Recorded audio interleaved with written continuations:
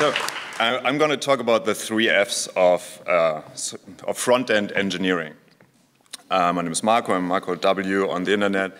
Uh, I'm the founder of SimpLabs. so you heard about us uh, already from Jessica and Toby and yesterday during my announcement. So we help clients uh, across the world really uh, building things for the web, um, particularly with Ember, and we help organizing this event as well as we kind of want to support uh, the European Ember community and like uh, we all have a great time at, Emberfest every year. So the three Fs uh, of front-end engineering. Uh, obviously the first one is framework fatigue, right? As uh, many of us have experienced, but now it's kind of not, not an issue anymore because we all settled on Ember, which is why we're here. Uh, and the second one is obviously, what the fuck was the inventor of JavaScript even thinking when when inventing the language, oh, sorry, too, too far. When inventing the language, right? Like array equals not array. That's a great idea, let's do that. Um, and there's many more of these things, right? And I, I, I, sort of revealed that little side joke already. This is obviously James Gosling, the inventor of Java. Uh, that's Brendan Eich, the inventor of JavaScript. And then the third F in front-end engineering obviously still is fear of Internet Explorer. Um, Of course, we have Edge now, but like IE 10 and 11 still like shed fear and misery around the globe, I guess. Um, but no, like while all these uh, points are probably valid, these are not the three Fs that I want to talk about. Uh, actually, I want to talk about three Fs that all uh, stand for the same word, which is fast. Uh, because we all care about fastness, right? Like probably more than anything else, because in like there's lots of value in fastness, often like direct business value. Uh, first of all, we want to like write things fast. We want to improve our our products in short iterations, and we want to like iterate through like many of these iterations in short time and like release stuff stuff in like a a quick uh, cycle. And like in the Ember community, we often refer to that, or like I guess in the community in general, we refer to that as moving fast without breaking things, right? Uh, contrary to that Facebook motto.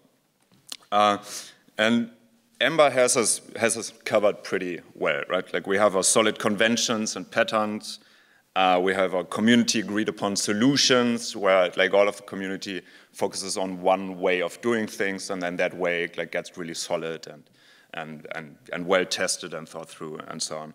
Um, and so we can all concentrate on shipping features, right? Like improving our, our products uh, like in, in quick and, and short iterations, like I said. Um, then the second uh, fastness that we care about is running fast, right? Like once the application started up, we needed to run fast regardless of the environment, like ideally on like feature phones as well. Um, and as we know, Ember has a not so bright past in that regard. Uh, there were lots of performance problems in the rendering layer, but now we have Glimmer in the Glimmer VM, uh, and we now have industry-leading performance. And I'm sure Chad is gonna gonna talk more uh, more about that in the afternoon and what's coming a bit. Um, so this is sort of a, uh, sort of a solved problem in the community as well. And then the third fastness is uh, we need to make sure that we deliver our application fast. And this is where, uh, like this talk gets a bit similar to the one that Simon uh, presented. So once we wrote something fast, we needed to run fast in the browser, but before that, we needed to get to the browser in a fast way, ideally, right? So this is basically like loading and startup performance of the application.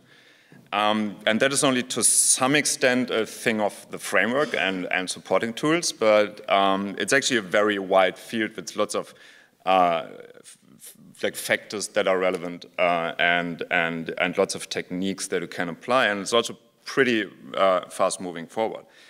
Um, and this is also what I'm going to talk uh, like about in this talk. So how can we deliver our fast applications that we wrote in a fast way even faster to our users' devices. Uh, and yeah, like I said, most of this is not really specific to Ember even, it's just like generic web performance uh, stuff, sort of. Uh, we'll be using a demo application, which like an open source Ember app is probably a pretty good example. So we're using the Ember Guides app. And this is, of course, um, not to mock like the learning team's efforts and show how bad that is, but it, it's more to show how easy it often is to improve stuff significantly. Uh, and of course, we want to uh, contribute all of the stuff that I want to, uh, that I'm going to present here uh, back. Uh, one thing that I have to say, we are, we deployed our own version of the application to Netlify, so we can like uh, play around with different things. So we're not looking at the actual production deployment of the Ember Guides app. Uh, first of all, uh, tools. So when you start uh, looking at, at, loading performance, uh, you would usually start with the uh, Chrome Inspector's Network tab. Um, and you uh, want to make sure you have a few things set up the right way because otherwise you won't get meaningful data. one thing that you want to make sure you set up correctly is you want to enable those large request rows that just show you a bit more data for each request at a glance and make your life easier. Uh, second, you obviously want to disable your cache because if you're just looking at the cache loading performance, that's not really what you care about because that's usually pretty okay. Um, then uh, next thing you want to do, you want to enable that priority column. Uh, we see what request priorities are uh, later. You can enable that just right-clicking on that column header, uh, and you can select the columns that you're seeing. Um, and then lastly, you want to uh, simulate a slower connection because if you're testing with your office Wi-Fi, then that's probably not uh, going to give you meaningful data. And that's also not really the case that you're optimizing for, right? Like somebody sitting on a desktop or a powerful MacBook Pro in an office uh, with a good connection, like that's not you're not solving their problems, but you're solving the problems that people have uh, loading your apps on mobile devices, like in the subway or maybe somewhere with a bad connection or uh, uh, something like that. And also, like slowing everything everything down just makes it a bit easier to understand the result, right? Like if something takes five milliseconds and you optimize it to four milliseconds, you don't really know, is that like actually 20% improvement or is it just one millisecond, right? But if something takes five seconds, it's just much easier to, to see uh, uh, what you're changing. So um, let's look at where we start, sort of, with the um, Ember Guides app, like what our, our, our um, initial loading characteristics are here. Uh, so first of all, we see DOM content loaded happens after 12.5 seconds, and that's obviously, of course, not the time that you are seeing on your notebooks, but like I said, we're simulating a slow 3G connection, right? So this is sort of a worst case scenario. So DOM content load is basically one all the, cr the critical assets uh, that the page requires uh, have loaded and when the application like begins starting up, right? Like that's when, when, when JavaScript parsing and compilation happens and then the code runs and like your application. Uh, then your application actually starts up like the route model hooks and so on. And, and it uh, refers to that line in the network uh, in the waterfall uh, chart right? Um, and the page finishes loading after 25 seconds. That's not really such an important measurement. That's basically when everything uh, has been loaded, also stuff like know, Google Analytics or whatever that you don't care about so much, um, right? And the, the time when the application has fully started up, that is somewhere in between, right?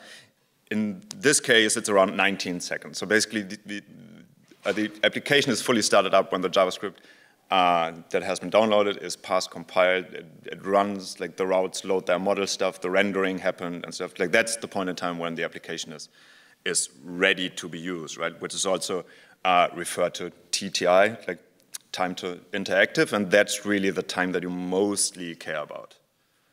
Um, if you're using server-side rendering, you might care about other times as well, like the first time the user sees something, but in general, you care the most about time to interactive because that's when the user can actually start using the application. Um, so if we look at that, then the question, of course, is what's limiting here? Like,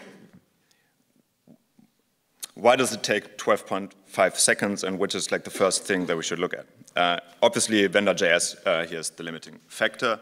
Uh, it out outlasts all of the other uh, um, important requests, and it finishes around 12.5 seconds, which is like when DOM when DOM content loaded uh, is fired because Vendor.js is like the last thing that is needed for DOM content loaded, and like once that is finished, the event is triggered.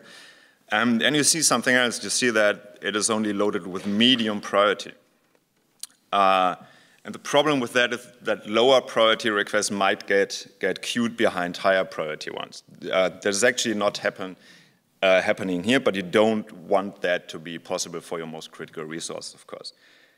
Um, and then only once the application is, or um, only once vendor.js completes loading, the application begins starting up, the routes model hooks are invoked, and it loads even more data.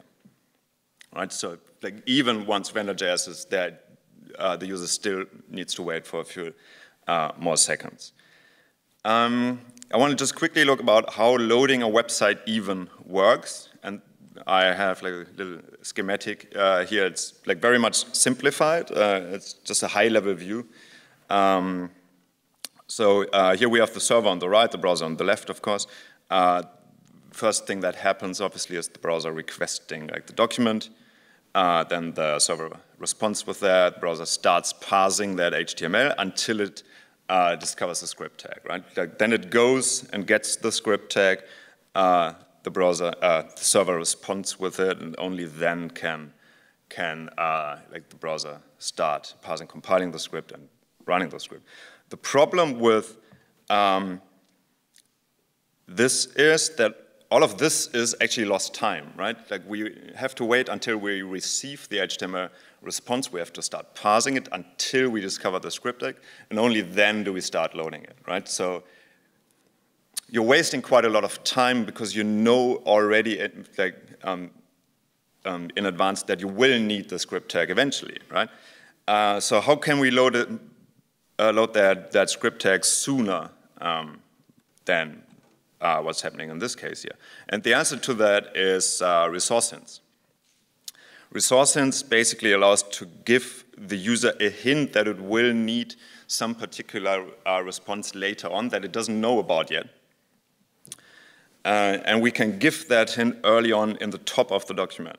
So you can just add that link uh, rel preload uh, to the document header, and that will make the browser start loading that resource already. And then once it continued parsing the document and finally reaches the script tag at the, at the bottom of the body, then will recognize it's loading the script tag already, right? So you're just loading it sooner, and so it can can uh, so it will complete sooner. Um, or you could do that even a bit earlier. Uh, there's also a link header, which is basically just the same thing, but the benefit is that you don't have to wait uh, until, or the browser doesn't have to wait until it receives the, the response body and actually starts parsing the HTML, but it uh, will see that resource hint in, in the, the headers of the response, which is slightly faster even. Uh, so basically what that means, if we use resource hints, we're going from this to this, right? Like we're just starting to load the JavaScript file much earlier, so it uh, uh, finishes loading uh, much earlier, and we have like much saved time in our um, application startup. So that is equivalent to essentially moving stuff stuff in the waterfall chart to the left, right? Like the further something is on the left, that means the, the, uh, the sooner it starts, and the sooner it starts, the sooner it will, will complete loading. Uh, so uh, like for the Ember Guides app, we just added these header. In reality, those will have like the, the hashes, of course, but I left those out for simplification. Uh, so now we're uh, like starting to load those bundles much sooner. Application bundle as well, of course, because uh, like the two are essential for the application to start up, of course. And the result is this. So we, we see that the JavaScript bundles are now loading sooner. They are now loading with higher priority. But the effect is not really huge, right? Like we are about 200 milliseconds faster, which is not bad, but there's only so much we can do here. But maybe we can preload more things, right? And if you look at the waterfall chart, you see that the application um, actually loads static data, right? It's basically just JSON files that it loads uh, from the application. And uh, um, uh, model methods, but the problem with this is that these requests are only triggered after DOM content loaded, so after 12.5 seconds, which is very late, right? Or 12.3 seconds with the, with the uh, link preload headers now, but it's still very late, although we know from the beginning which JSON files we're going to need. Uh, so we, uh, we should preload those. It's not really necessary here to use a header because it, it, doesn't really make a big difference because they will be loaded while the vendor.js is loaded anyway, right? So, and that will outlast the request for the JSON files anyway. So we just add, add tags. Uh, in reality, you will want to make that version part of the build process using probably like an in-repo add-on and not like hard code this into index.html, so you would update it every time like there's a new Ember release, but that's relatively straight, straightforward with Ember CLI. Um, also, you realize that we, we are saying cross-origin anonymous. It's not actually a CORS request because the, the files are loaded from the same domain, um, but it's still going through that CORS subsystem in the browser, so you have to say cross-origin cross -origin anonymous. It's just something to remember and uh, so the result of this is that uh, when we look at the waterfall uh, chart again, that you see the JSON files are no, now loaded um, much sooner, right? Like they are now loaded in parallel with the vendor.js. Uh, DOM content loaded is slightly slower now because more things share the available bandwidth, right? Like we are now loading the JSON files at the same time as the vendor.js loads and other things like the CSS and the application bundle. So DOM content loaded is slightly slower, but the big benefit is that once the routes model hooks um, are called, then basically they resolve immediately as the browser has the resource that they're trying to load already, right? So basically, uh, uh, what that means in consequence then is that um, DOM content loaded is more or less the same now as application startup time and time to interactive, right? So we, we, are, we went from, from time to interactive at 19 seconds to time to interactive at about like 12.5 seconds, which is a huge improvement, of course, right? Um, um, although um, obviously uh, after DOM content loads, there's still parse and compilation and execution time for the JavaScript, so it's like not quite there, but it's like still a dramatic improvement of at least like five to six seconds uh, in this case. Uh, so uh, here we had a much bigger impact than we had before, right? Because the vendor.js was already loaded pretty early on, so like there's not so much you can do, but everything that is loaded very late in the process, but you know you will need it later on, there's like always a big uh, room for improvement preloading those things, like the JSON files in this example. Uh, a few warnings about uh, preloading. Uh, preloading does not work if you have like sub, if you're using sub-resource integrity. If you have integrity attributes on the script tags at the, the bottom of the, the, the HTML body that the browser will then see, like it, it would ignore basically everything that had been preloaded previously and always load that resource again, which actually means you're loading it twice and slows uh, things down, right? And I have first-hand experience, like this uh, cost me two hours while preparing this talk until I figured out that was actually the problem. Um, and then, of course, you don't want to preload everything, right? Because if you're preloading everything, you're preloading nothing because everything just loads at the same time. And um, obviously, all of the things that load share the available bandwidth, um, which is not what you want. In that context, you might have heard of HTTP push, which is a bit similar.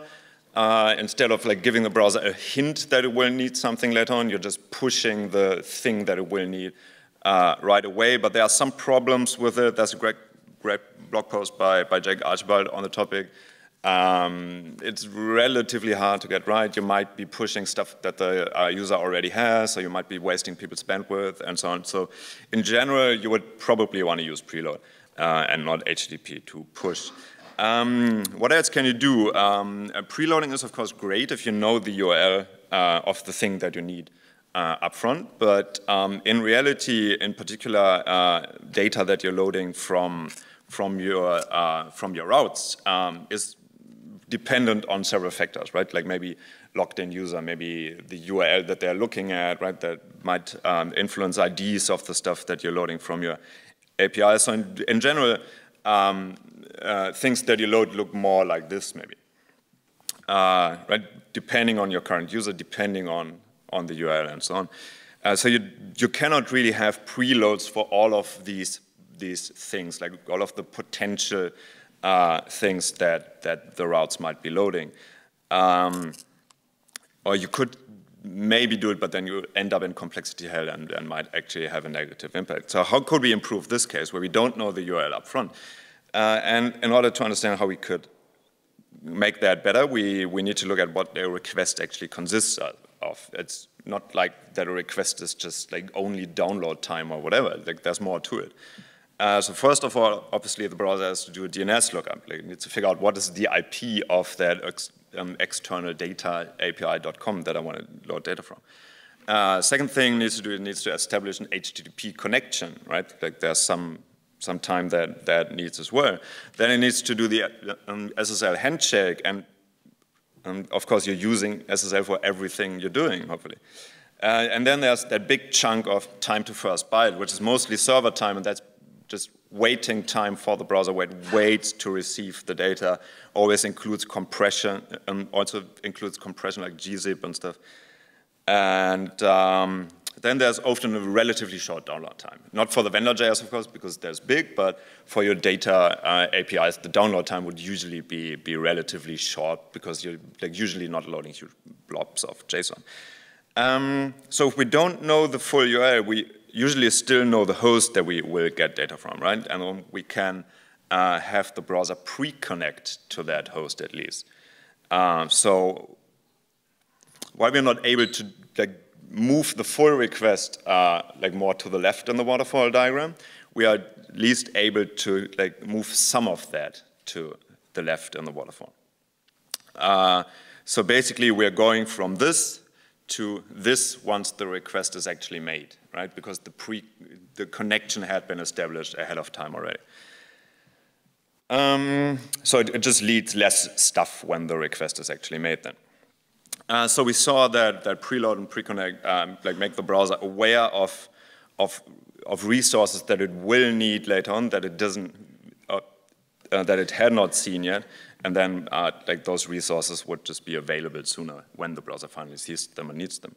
Uh, but what would be even faster, and of course even fast, or the fastest request is making no request at all, right? So if the browser has that resource that it needs already, then that, like that's the ideal case. Uh, and Ember CLI has pretty good support. So we all know that it uses fingerprints for all file names in production, right? So uh, like when the file's content changes, the name changes, and if the name stays the same, then you can be sure that content is the same. Uh, and then if you combine that with infinite caching, uh, like that is pretty good already. You just need to make sure you add the immutable uh, keyword there because otherwise uh, the browser will always go and revalidate uh, the resource. And if you use this caching configuration, this is basically as good as service workers. So in both cases, the browser will just use what it has in the cache, like either service worker cache or um, HTTP cache, and like uh, your request resolves immediately, basically. The only difference is uh, that the service worker cache is less likely to be cleared. Like the HTTP cache is, I think, smaller and more likely to be cleared. Uh, but if the resources are in the cache, then both have basically the same performance characteristics. Um, but because of that, you would probably still want to use a service worker, in particular uh, uh, because it's now supported on most of the devices that you care about. Uh, but that's a different talk because like we've all heard like numerous service worker and PWA talks, I'm sure. Um, so, uh, but still, looking at the, the previous example with cache, we see that everything is obviously much faster. Uh, the JavaScript assets are loaded in zero milliseconds. They're just read from disk. Uh, and DOM content loaded happens in 4.3 seconds. And this is even without service workers. Like I said, we just use a, a good caching uh, configuration. But of course, in reality, you need to ask yourself whether this is a likely scenario to happen in the real world, right? Like this is when the user has everything that they could have in the cache, um, in the cache, and everything is usable, right? So how likely is this to happen, like to your users actually? And that, of course, depends on how often do, you, do your um, assets change, uh, and how frequently are your users visiting, right? So if you users are typically visiting once a week, but you have five deployments a week, and every time change your assets, then uh, they will never be able to get um, anything from the caches, except images maybe or so, but those are not really the critical uh, things you're looking at. Um, I'm not saying you should never release any changes, of course, but it's, it's good to be aware of like what, what the things that you're doing result in, right? And this is a bit similar to what Simon showed. So we uh, use this thing as part of our uh, CI system, which tells us uh, what assets change uh, as a result of merging a pull request. And basically, we, we, we just uh, build master, we build the pull request, and then we compare the results and just see where the differences are. Um, so this is actionable information, right? And you might use that information, for example, if you do like dependency updates of five dependencies in your system. Do you do like every dependency update individually and release that to production um, individual, individually every time invalidating everybody's vendor.js? Or do you maybe uh, combine all these uh, dependency updates in one production release so you're only invalidating people's caches once? Um, like there's no clear guidance, but it's like uh, good to be aware of, of, um, of things and, and, and, and the consequences.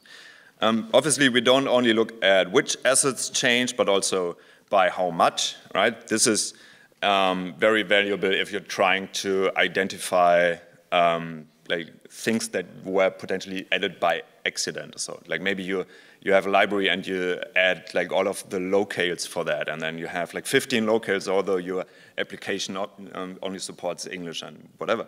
Uh, that is really uh, like valuable information uh, for these things, and also like you might have like a very small feature that you're building in one PR, but you're adding a huge dependency, and then uh, you have to ask yourself like, is this really worth it, or do I just like write a five-line function and maintain that myself, right? Like that's not always good, but sometimes might be good.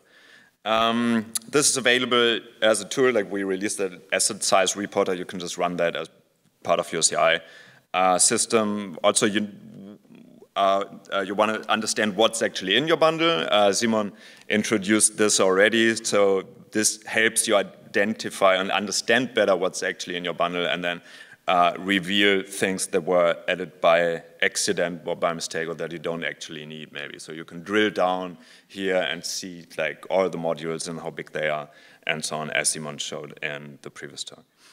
Um, there's much more uh, to talk about performance. We only looked at like very few um, uh, specific things here. There's HTTP2. It's easy topic. You just always use HTTP2. Uh, CDNs, also pretty easy. Always use CDNs. If you don't, then you're missing out. And like uh, CDNs are really, uh, really cheap now, so it's not even like a big decision in terms of business. Uh, there's server-side rendering, of course, that influences performance. Uh, it improves perceived performance. There are ways, I think, to make it even uh, improve actual startup performance. Uh, there's things like inlining uh, critical CSS, so the CSS that the browser needs to show like the the, uh, or to render the pages already there and it doesn't have to go and fetch a remote resource. Um, we use the network tab here as kind of a first uh, starting point. In reality, you would want to use other things like webpagetest.org, for example, that allows you to basically do the same stuff that you do in the network tab, but from actual remote locations, and then you configure like the connection it should be using and so on. But then eventually you want to have real user monitoring. So the things that you see in your uh, network tab and on webpagetest.org, like those give you a good idea of the loading behavior, but the thing that you actually care about is how does that behave on like the real user's devices. Um, um, images are a pretty big topic uh, when it comes to, to performance optimization. Uh, like there are several optimization images. There's many, many different compression algorithms uh, for JPEGs, uh, for example. Uh, there's different techniques where you just like show a, a placeholder image that's maybe just some base 64 encoded image that's right in your DOM, and then you uh, replace that with a real image once that has loaded. There's bundle splitting, of course. You can use like engines, like lazy loaded engines. Ember, um, auto import helps with that as well. Uh, there's the new RFC by Tom, I think it's just a, a, an issue uh, about maybe creating an RFC for loading um, ES6 mo uh, modules individually. So um, like you're loading less and smaller things, and things are likely more stable in your cache, right? Because individual modules, like an individual module that changes wouldn't invalidate the whole thing, but only itself, right? So uh, you would just have to load a few kilobytes again. Uh, so, uh, like I said, it's a huge field. There are many things to consider. Um, many things will be specific to your concrete application and only apply to that, but maybe not to other ones. Uh, but I cannot cover all that, of course. So, uh, but if you have questions, talk to me later. Thanks.